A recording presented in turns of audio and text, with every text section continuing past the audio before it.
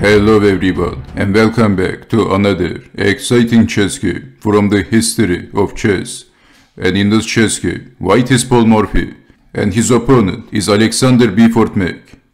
And Alexander Meek was many things. He was a lawyer, a judge, he was a politician, an author, writer, and a poet. But I don't know how these features, how these specialities are going to help him in a chess game against Paul Morphy as Paul Morphy was one of the greatest chess players in the history of chess. So let's check out how this game went on. So this game was played in 1855 in the United States and Paul Morphy starts the game with playing e4, e5, f4, the king's gambit accepted, knight to f3, g5, bishop to c4, bishop to g7, h4, and pushing the pawn, defending the knight. Also attacking the f pawn, defending with the knight and Morphy played d4. And with this move Morphy showed his intention.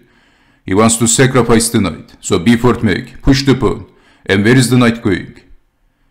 Morphy played bishop takes on f4, and black captured the knight, but then capturing back. It appears that Morphy has a good compensation. Uh, Attacking the queen and how to defend. The only defense is with the bishop and leaving the knight. But Morphy didn't capture the knight. He played queen to d2.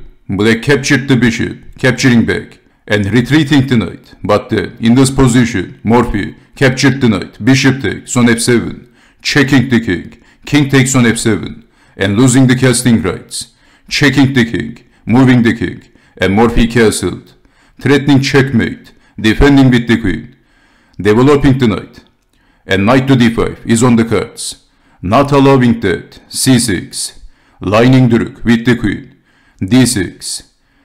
Well, this is an interesting position. Look at Morphy's pieces. Even though he sacrificed a piece, his pieces are fully mobilized. He has the active position, and on the other hand, Black has the difficult position. His pieces are looking like prisoners. Look at the rook. The rook is also a prisoner, and the rook is also stuck on h8. So this is the art of the perfect developing, the rapid developing, by Paul Morphy. The Art of the Attack. After d6, what would you do in this position? Well, as you can see, black has the difficult position with the exposed king. And now, in this position, Morphy is sacrificing the knight for opening the file, attacking the queen, and b4 knight captured the knight. What happens if not capturing the knight, if defending the queen? Then knight to f6, forking the king and the queen. And this should be sufficient for white. This is losing for black. And what happens if queen to g7? Then queen takes on d6. And black is in trouble. So let's take it back. And what happens if queen to d8? Then queen to f7. Check. Mate. There is no defense in this position. So black has to be careful. After knight to d5, Beaufort Meek, captured the knight, what else? And capturing back. But this opened the file, the deadly file. Beaufort Meek is defending the queen defending on f7 and f8 at the same time, not allowing checkmate. But this is not stopping Paul Morphy. He played rook to e8, checking the king, and Beaufort Meek resigned. What a game, what an incredible chess game by Paul Morphy. This was the art of the attack.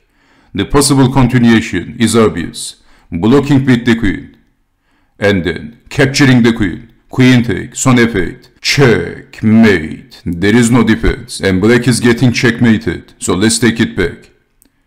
After queen to f8. But Morphy was an artist. He liked to checkmate his opponent with an aesthetic way. So maybe Morphy would play queen to f7.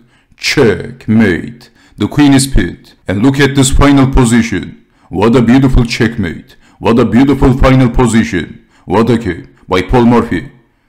And thank you for watching and I hope to see you next time. Take care and bye bye.